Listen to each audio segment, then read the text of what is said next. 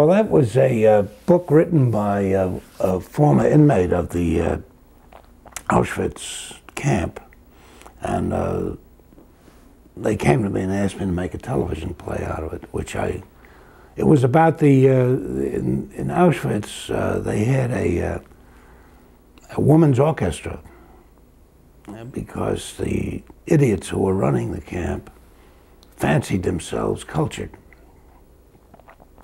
So they got women, most of them couldn't play anything, but a few were former, they could play something.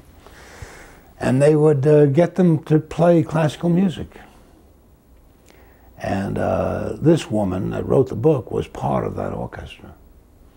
And uh, it was a hell of a show, I think, Vanessa Redgrave, who was simply marvelous in that.